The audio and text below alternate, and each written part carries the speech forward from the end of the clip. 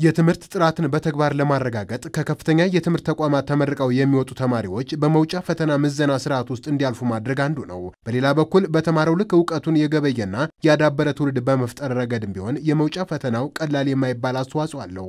ለዚህ ደግሞ በዚህ ዓመት ካስመረቃቸው 1090 በላይ ተማሪዎች ውስጥ 86 በመቶ የመውጫ ፈተናውን ያለፉ የአዳማ ሳይንስና ቴክኖሎጂ ተማሪዎች ተሞክሮ ማሳያ ነው። ተመርቆ የሚወጡ ተማሪዎቹ just እንትን ነበረ ይፈተናሉ፣ ይወጣሉ እና ብዙ የሚረሱ ኮርሶች አሉ። ያለው እውቀትም የነበረው በፊት እንማራለን እናልፋለን ለፈተና ብቻ ነበር።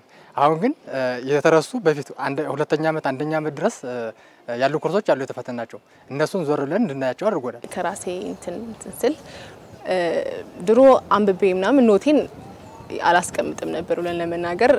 ግን አሁን ይሄ ኤግዚስታም የሚጠቅመው ሁሉ ነገር እንድናስታውስ ይሄ ሙሉ detail ሳይሆን ከላይ ከላይ ምንድን ነው የተማርኩት፣ ምንድን ነው ማውቀው፣ ከዚህ ግቢ ሲወጣ ምንድን ነው የያዝኩት፣ ከኔ የሚጠበቅብኝ ከ chemical department ምንድን ነው ያወቅኩት ለማድረግ ይሄ ለዚህ ለዚህ ይጠቅማል። የከፍተኛ ትምህርት ተቋማት የመውጫ ፈተናን በመውሰድ የመጀመሪያዎቹ በመሆን ለተከታዩ ትውልድ የመዘጋጃ ድልድዮች ነን የሚሉት ተመራቂ ተማሪዎች ይህንን እድል በመጠቀም ያላቸውን በቂ ጊዜ በአግባቡ በመጠቀም የቀጣዮቹ ዓመታት ተመራቂዎች ሊዘጋጁ ይገባል ይላሉ።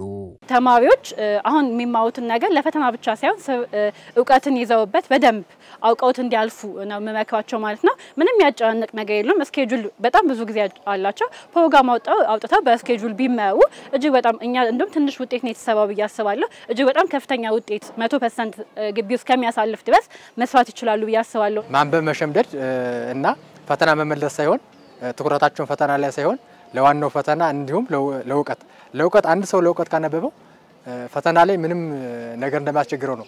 ለእውቀት ካነበቡት አይረሳቸውም። ስለዚህ እንዳይረሳ ለእውቀት ማንበብ ለራሳቸው ብለው ማንበብና አሁኑኑ ጀምረው ከስር ከስር እነዛን ኮርሶችን ማንበብ እንዳለባቸው ነው።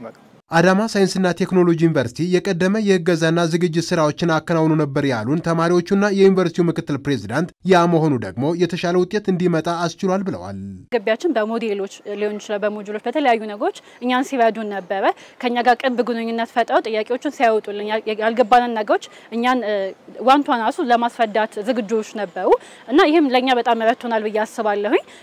ኖቶቻችን አይኑ እንጂ ከሌሎች ከኛ ከኛ ከ class በሚያንሱ ልጆች የእነሱን ኖቶችን በመውሰድ የእነሱን ሞጁሎችን በመውሰድ የእነሱን በማንበብ እየተዘጋጀ ነበር እና ይሄን ያህል ከባድ ነበር ብዬ አላስብም። አስተማሪዎቹንም መድቦ ከማካካሻ ትምህርት እንዲሰጥ አድርጓል እና የተሰጡን ሞዴሎቹ ተቀራራቢ ናቸው። ከመጡት ኤግዚት ኤግዛም ከመጡት ጋር የተቀራረቡ ስለነበሩ ለእኛ በጣም እጅግ ጠቃሚ ነው ብዬ አስባለሁ። ኮሬን ሁምኔ ጉን ሰደርካ ዩኒቨርሲቲ ኮሬ ሁምኔ ሰደርካ ኮሌጆታ አውካን ስኩሉቲ ኮሬ ሁምኔ ሰደርካ ዲፓርትመንቲት ኮሬ ከነ ኦርዶፎ ሁምኔ በዩኒቨርሲቲ በኮሌጅ እንዲሁም በዲፓርትመንት ደረጃ ቡድን አዋቅረን ለተማሪዎቹ የማካካሻ ትምህርት እንዲሰጡ ስናደርግ ነበር። በሳምንት ሁለት ጊዜ ለተማሪዎቹ የማካካሻ ትምህርት ከመስጠት በተጨማሪ ከፈተናዎቹ ጋር ተያያዥነት ያላቸውን ጥያቄዎች በማውጣት ተወዳዳሪ ሆነው መውጣት እንዲችሉ አድርገናል። በእያንዳንዱ የማካካሻ ትምህርት ላይ እስከ መቶ የሚደርሱ ጥያቄዎችን በማውጣት ለፈተናው ዝግጁ የሚያደርጋቸውን ልምምድ እንዲያደርጉ አድርገናል።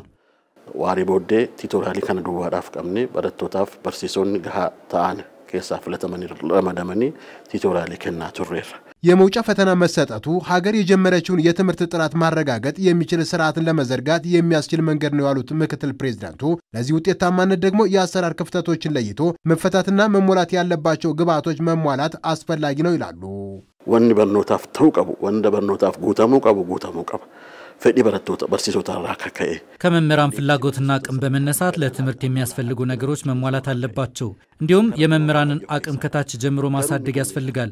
ይህም ከሚያስፈልጉ መሳሪያዎች አንዱ ነው። ከዛ ባለፈ ተማሪዎቻችን ያሉበትን ደረጃ ለይቶ የማብቃት ስራ መስራት ከተቻለ ለትምህርት ጥራት ትልቅ አስተዋጽኦ ይኖረዋል ብለን መውሰድ እንችላለን። ከዚህ በመነሳት የመውጫ ፈተናውን መስጠቱ አስፈላጊ ነው ማለት ነው።